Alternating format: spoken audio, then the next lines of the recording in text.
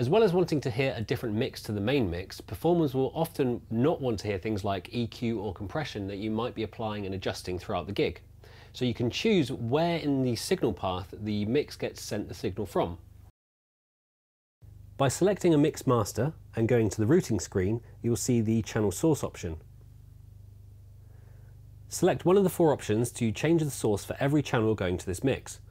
Post preamp means no processing will be passed through to that mix, Pre-EQ includes the gate and any inserted effects. Post-EQ means everything except the compressor, and post-all means all processing will be heard on that mix. This setting can also be changed individually for every mix.